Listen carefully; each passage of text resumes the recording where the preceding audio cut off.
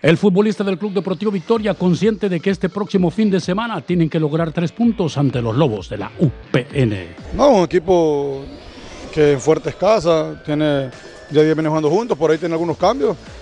Eh, ya los conocemos cómo juegan, pero bueno, creo que es de preocuparlo más que todo por nosotros, por, por estar bien, por tener todo el plantel disponible y como te digo, hacernos fuerte aquí en casa. Esperemos que la gente pues siga, que llegue, va, que llegue, a apoyar a, como yo siempre digo, no a X y jugador, sino que a la institución, a estos colores con los que representan, a los que apoyan, eh, que lleguen a apoyar a a la Jaiba y, que nos apoyen, que creo que con, el esfuerzo de ellos, con la lente de ellos y el esfuerzo de nosotros, el equipo puede salir a flote. Entonces, que dejemos menos las redes y que lleguen a la, cancha. ¿no? Hay que pararse bien porque este equipo viene motivado después de ganar a León Grande. Sí, no.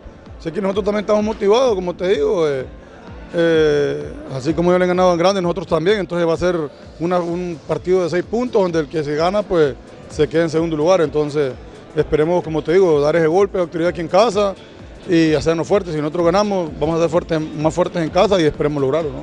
Compenetrados en lo que es el campeonato partido a partido en el Victoria, se debe sumar de a tres. Va a ser una final, igual nosotros necesitamos sumar para siempre mantenernos ahí porque la idea de nosotros es estar siempre ahí entre los seis para poder clasificar a, la liga, que es el objetivo primordial.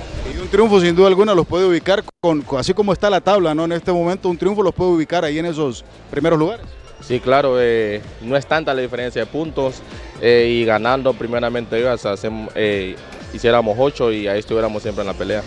Es complicada la UPN, pero en casa ustedes han prometido trabajo de hacerse respetar.